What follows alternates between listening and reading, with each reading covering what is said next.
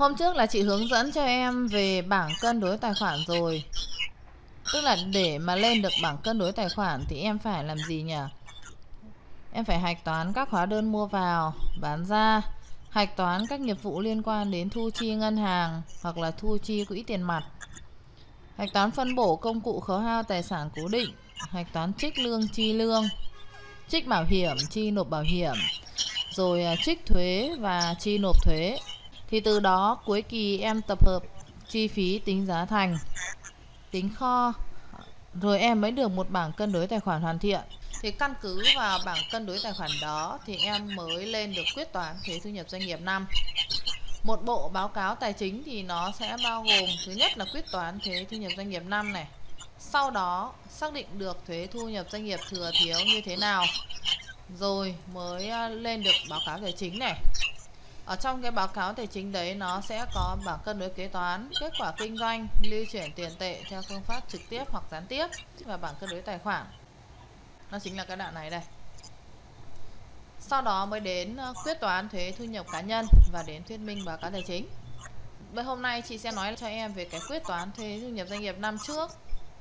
Đối với lại quyết toán thuế thu nhập doanh nghiệp năm này thì một năm em lập một lần và cái hạn nộp báo cáo quyết toán thuế thu nhập doanh nghiệp năm này là sau 90 ngày kể từ ngày kết thúc năm tài chính. Tức là ngày 31 tháng 3 của năm sau đấy, thì em sẽ phải nộp báo cáo tài chính của năm trước. Và quyết toán thuế thu nhập doanh nghiệp năm này thì em sẽ thực hiện kê khai ở trên HTKK. Sau đó kết xuất ra XML để nộp cho cơ quan thuế. Đối với công ty mà có kỳ quyết toán năm từ năm à, 2020 trở về trước thì em sẽ áp dụng mẫu quyết toán TNDN5 này. Còn đối với lại công ty mà uh, có kỳ quyết toán từ năm 2021 trở đi thì em sẽ áp dụng tờ khai quyết toán TNDN theo thông tư 80 nhớ chọn đúng tờ khai thì em nộp trên trang thuế điện tử uh, thì uh, em mới nộp được. Trên HTKK này thì chị sẽ hướng dẫn cho em làm theo thông tư 80 chị sẽ chọn thông tư 80 chọn năm mà em cần lập tờ khai quyết toán. Chị giả sử chị lập cho năm 23 đi. Và chọn tờ khai lần đầu. Đối với lại trong trường hợp là công ty em à, đã nộp tờ khai rồi, đúng kỳ rồi, nhưng mà phát hiện ra sai sót thì em được quyền nộp lại. Thì khi nộp lại thì nhớ chọn vào tờ khai bổ sung. Và theo từng lần em nộp lại. Ví dụ lần đầu em nộp nó gọi là lần không sau đó em khai bổ sung thì nó sẽ là nộp bổ sung lần 1 bổ sung lần 1 sai, em làm lần 2 thì lúc đó nó sẽ là tờ khai bổ sung lần 2 đấy, nó cứ tăng dần theo từng lần phát sinh nếu có. Còn ở đây chị à, hướng dẫn em làm tờ khai lần đầu. Bao giờ em cũng phải chọn phụ lục 03-1A đây là phụ lục kết quả hoạt động kinh doanh. Phải có phụ lục này thì à, phần mềm thị cái thu nhập tính thuế trên tờ khai chính cho em. Để chọn 03 trừ 1A sau đó nhấn đồng ý. Thế còn mấy cái 1B 1C là cái gì? Không, cái đấy mấy cái đấy không cần. Còn em mà muốn biết nó là cái gì ấy Em uh, có thể nhấn vào thêm phụ lục này. Em chọn 03 trừ 1BC Nó hiển thị lên cho em 03 trừ 1B là áp dụng đối với ngân hàng tín dụng này. 03 trừ 1C là áp dụng đối với công ty chứng khoán. Thì mấy cái loại này thì mình không làm nên là mình không cần chọn bởi vì đây mình đang làm là công ty hoạt động sản xuất kinh doanh thông thường. Em hiểu chưa? À. đây đây là phụ lục 03 trừ 1A Đấy. áp dụng cho hoạt động sản xuất kinh doanh thông thường. Căn cứ mà em điền được lên cái phụ lục 03 trừ 1A này một là em có thể căn cứ vào bảng cân đối tài khoản. Hai là em có thể căn cứ vào báo cáo kết quả kinh doanh ở trên MISA có sẵn. Em vào phân hệ à, báo cáo này, báo cáo tài chính này. Em có thể mở bảng cân đối tài khoản này ra này. Số liệu này thì em vẫn để năm 21 nhưng mà chị hướng dẫn cho em kết toán theo mới nhất đấy để sau này em vận dụng ấy. Chủ yếu là mình lấy số liệu nó lên, thấy chưa? Dạ em có thể xuất khẩu cái à, file Excel này. Và đây là cái bảng cân đối tài khoản mà chị em mình đã cân đối và rà soát lại các cái lỗi xong rồi sửa lại đấy. Và kết chuyển lại lại lỗ. Đấy. thì à, bây giờ để mà điền được số liệu lên trên phụ lục 03 1A đấy thì em căn cứ số liệu từ tài khoản đầu năm đến đầu 9 để điền lên HTKK bao gồm này doanh thu bán hàng và cung cấp dịch vụ đấy, chính là số tiền của tài khoản 511 này. Trong trường hợp mà công ty có giảm giá hàng bán hàng bán bị trả lại hoặc chiết khấu, thì em không thể lấy nguyên cái số tiền phát sinh của tài khoản 511 ở trên bảng cân đối tài khoản này được. Mà lúc đó, em phải tích vào tài khoản 511 này.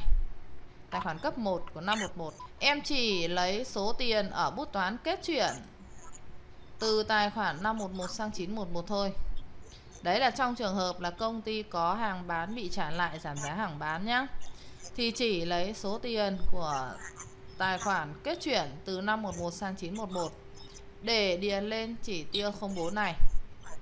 Còn nếu mà nó không có nghiệp vụ hàng bán bị trả lại giảm giá hàng bán chiết khấu thì em có thể lấy luôn cái số tiền phát sinh nợ hoặc là có của tài khoản 511 trên bảng cân đối tài khoản.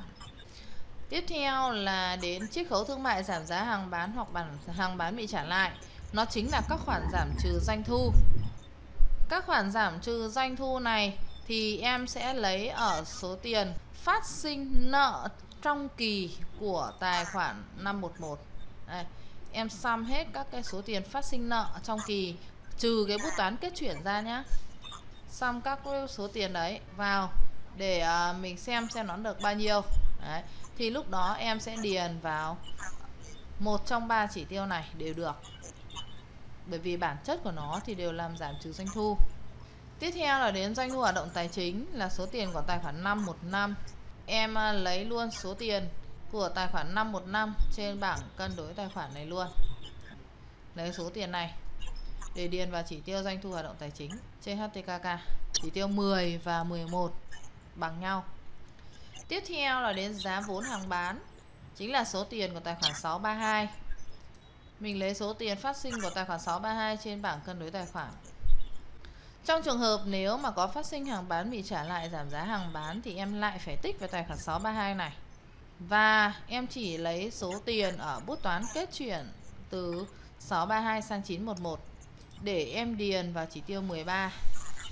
Còn giảm giá bên có này thì em không được lấy. Tiếp theo là chi phí quản lý doanh nghiệp.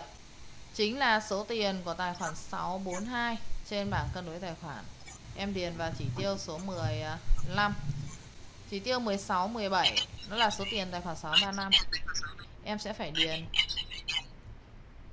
vào chỉ tiêu 16 17 này thu nhập khác là số tiền của tài khoản 711 và chi phí khác là số tiền của tài khoản 811 Đấy là cách mà em điền số liệu từ bảng cân đối tài khoản lên phụ lục 03-1A. Từ đó em sẽ xác định được tổng lợi nhuận kế toán trước thuế thu nhập doanh nghiệp Tại sao nó gọi là trước thuế là bởi vì nó chưa thực hiện nghiệp vụ uh, trích thuế thu nhập doanh nghiệp phản ánh vào 821 nên nó gọi đây là tổng lợi nhuận kế toán trước thuế. Bởi vì bây giờ mình đang làm thuế thu nhập doanh nghiệp. Do đó đây nó chưa có thuế thu nhập doanh nghiệp ở đây. Đấy là cái cách mà em hiểu thôi, em hiểu để em biết được là số tiền nó được lấy từ chỉ tiêu nào sang. Còn khi mà em làm thực tế ấy để muốn làm chuẩn thì em mở luôn cái báo cáo hoạt động kinh doanh này ra. Xong rồi em chọn kỳ mà em cần xem nhấn đồng ý. Lúc này em chỉ việc xuất khẩu cái này ra file Excel.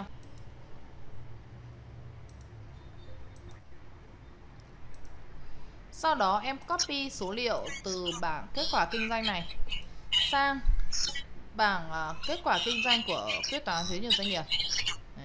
Ở cái báo cáo kết quả kinh doanh này thì nó có cả lợi nhuận trước thuế và sau thuế.